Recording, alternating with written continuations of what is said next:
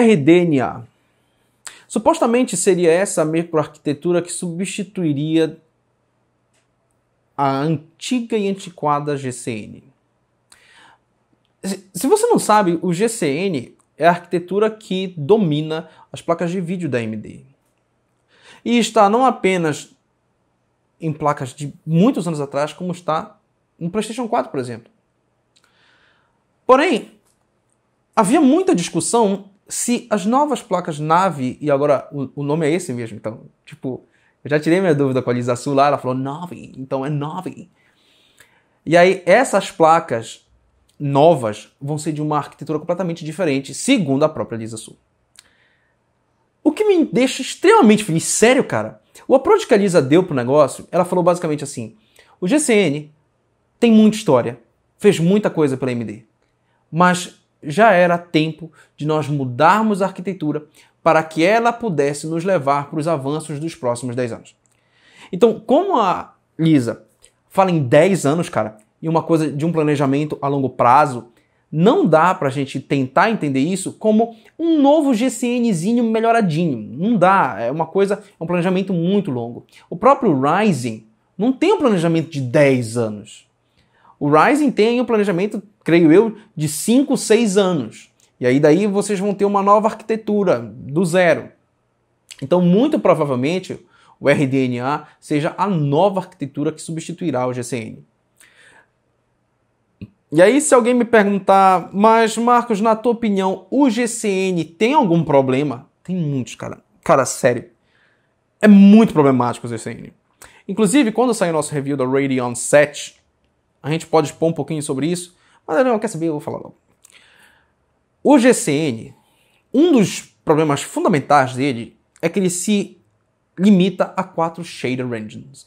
Então, a forma como os agendadores tentam usar os núcleos mínimos de processamento dentro da placa de vídeo é ineficiente. Eles funcionam muito bem ali no caso de Polaris, como uma RX 580, em que usa 40 compute units, 36 compute units. Nesse segmento funciona muito bem. Porque os agendadores conseguem usar todos os stream processors que estão em cada uma dessas CUs. Não quero falar CUs, mas vamos falar das CUs.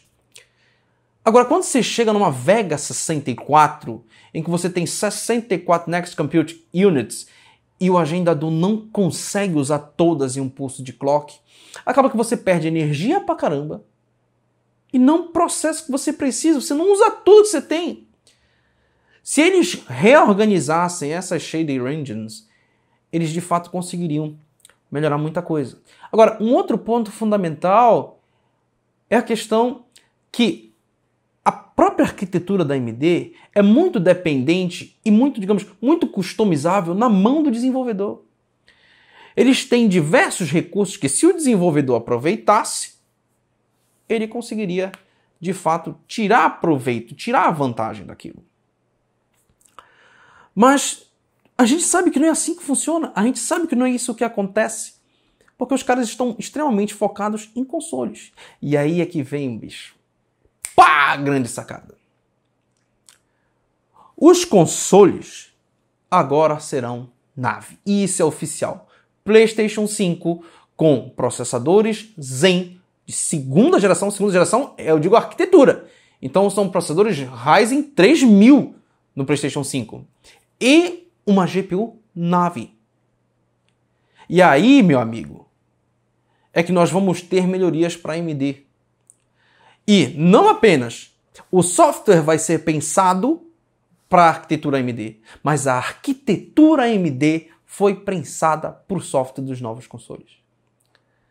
E aí a relação entre Sony, os estúdios que ela tem, entre os estúdios da Microsoft, tudo isso vai beneficiar a AMD. E aí você vai dizer, mas Marcos, os GPUs dos consoles de PS4 nunca beneficiaram a AMD. Como não? Olha como uma Radeon 7 roda BF5, olha como ela roda Shadow of the Tomb Raider, olha como ela roda The Division 2, olha como ela roda alguns jogos que são do PlayStation 4 Pro e do Xbox One X para cá. Melhoraram muito. Uma 470 era bem próxima de uma 1050 Ti no começo, hoje ela come o rabo de uma 1050 Ti.